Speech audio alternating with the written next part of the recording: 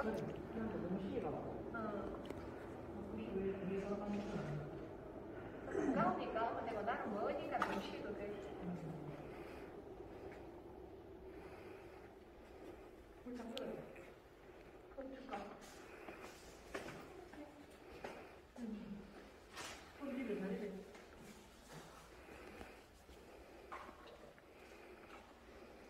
ist der Entwickler nicht vielleicht?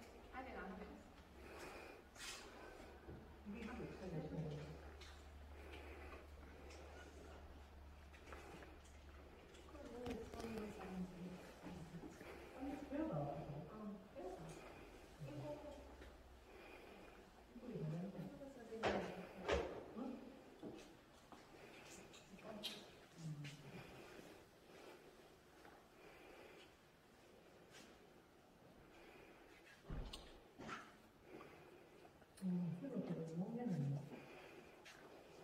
나 옛날에 빠졌어. 이거 아니고 딴 것도 많이 있어. 우리는 두개갈 때는 우리가 다른 사람은 내가 되면은 힘들어. 저것도 이제 돈 받아가 내줘야 되는데. 이거 한 점에 3만 원씩 표고비. 이제 이 양반은 해야지. 거기 언니는 하고 다른 사람 내는 사람. 그거 하나도 생각하면 아니 월요일 날 갈라 하다가 내가 못 갔어. 어. 목요일 날 이야기. 언니 안 할래? 해야지 아니 얼굴 안 할 거라. 해야지 가서 목요일 날 하자고. 오늘날 2시 반에. 2시 반에 2시 반에 뭐 한다니까 아 3시 온다니까 야, 야는 차를 차를 딱 내놔주기 때문에 근데 가야 돼 아, 안 받으면 큰일 나아 저거 씻고 저 뭐 유치원을 들고 간다니까 그러면 세 3시에 시로. 보내고 가, 가면 안 되나? 애한테 그거래 안 되나?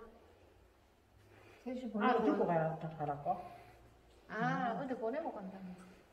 아니 알을 때 내가 들고 집에를 가야 된다니까 아, 일찍 와. 아, 없을 때 가야 된다. 아 없을 때 가야 된다니까 좀 있지 않은 거는. 일찍 하면 되지